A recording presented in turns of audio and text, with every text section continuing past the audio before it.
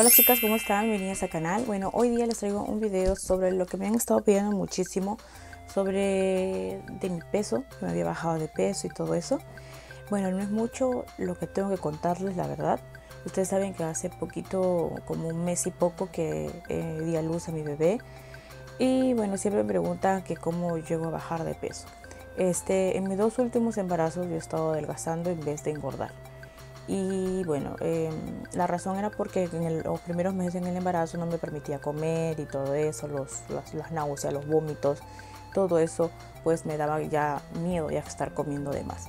Y bueno, con este bebé que acabo de dar a luz como un mes y poco, eh, he sentido que sí he bajado un poquito más de peso. Y desde el día que yo salí de la clínica, yo salí pesando 72 kilos estaba todavía un poquito hinchada y todo eso.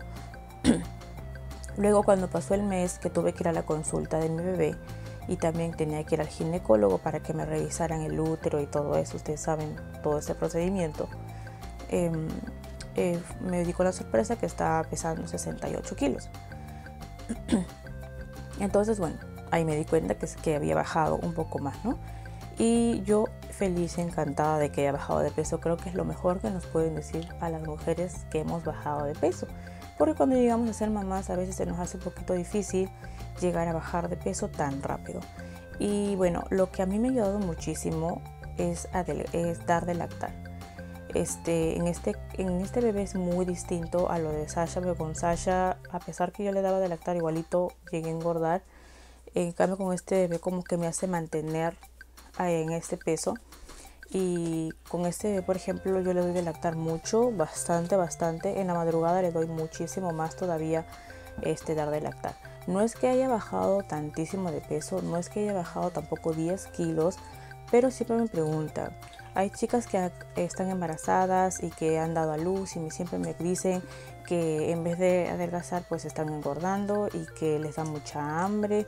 Créanme que a mí igual me da mucha hambre cuando estoy aquí en casa, también la ansiedad y todo eso, dar, de lactar y no dar de lactar, igual te da muchísima hambre, ¿no? A mí cuando me da bastante hambre, la verdad lo que yo hago es, no les voy a decir que yo hago dieta porque no hago dieta, no sirvo para hacer dietas. Y lo que sí hago es comerme, por ejemplo, unas tostadas, un par de tostadas o comer, por ejemplo, un tecito con azúcar stevia. Yo utilizo más stevia. Eh, y eso, cuando tengo hambre. Cuando tengo hambre también igual lo que hago es servirme un poquito de comida, pero poco. Si sé que voy a comer eh, fuera de, por ejemplo, cena y almuerzo. Así también hacemos últimamente mi esposo y yo, bueno, todos nosotros, es que eh, cenamos más temprano. Por ejemplo, cenamos como a partir de las 6 de la tarde, 6 y media, algo así.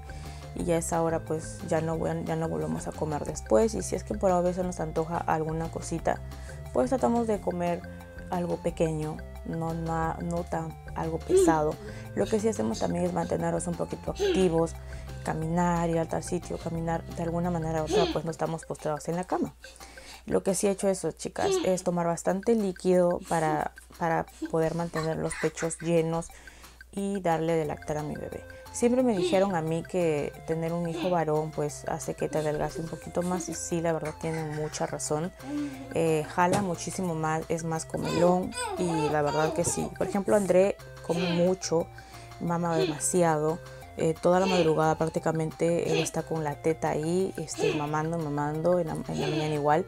Hay momentos en que me rechaza el biberón y quiere solamente lo que es este, solamente pecho. Yo feliz de la vida porque, bueno, de esa manera no se enferman mucho los bebés y están más fuertes. Ahí Sasha está aquí, ve. Y bueno, chicas, creo que va a ser eso era casi todo. Pues sí les voy a enseñar cómo está mi abdomen para que ustedes puedan ver. He bajado bastante lo que es la barriga. Antes la barriga la tenía como que muy hinchada, ahora se me ha bajado un montón, un montón se me ha bajado, pero sí, este, no uso mucho ropa interior que me marque esta parte de acá. Trato de utilizar ropa interior que quede un poquito suelta o que me sostenga la barriguita en esta parte. Eh, eso es lo que sí hago. Eh, la ropa, hay ropa que no me quedaba y ya me está volviendo a quedar. Por ejemplo, esta pantaloneta no me quedaba tanto se la sentía muy apretada cuando me vine de Perú embarazada. Este, ahora, por ejemplo, me queda, me queda un poquito ya más liviana, mucho mejor. Hay ropa que sí siento que sí me queda y eso de verdad que me hace muy feliz a mí. Pero sí, chicas, si ustedes están en, que han dado a luz, traten, traten de no comer mucho. A veces es ansiedad y yo les, las comprendo porque a mí igual me pasa. Pero cuando me pasa eso, trato de comprarme unas, unas tostadas integrales y, y, un poquito de mantequilla, no sé, con jamón o lo que, bueno, algo que las, las mantenga sin estar comiendo a cada momento. Si trato de tomar agua, a, bebidas calientes, si tomo. Trato de evitar de tomar las bebidas con gas, las con gaseosa, todo eso trato de evitar. Em, trato de comer menos pan, pero no es una dieta que estoy llevando ni nada. Pero sí me ha ayudado muchísimo dar de lactar a mi bebé. Eso me habían estado preguntando muchísimo las chicas les voy a enseñar mi abdomen cómo está. Todavía tengo la, lo que es la línea de la barriga, eso todavía no desaparece. La barriga todavía la tengo, incluso está un poquito más oscura porque es lo normal que todavía estéis así. Pero cuando ya fui al médico, ya mi útero ya estaba todo en su lugar, todo, todo, ya estaba súper bien. Incluso ya mi sangrado desapareció porque normalmente cuando uno da luz, uno sangra pues unos, unas 30 días o 40 días, supuestamente la cuarentena. Y bueno, ahí está Sasha que está que se mire en el espejo.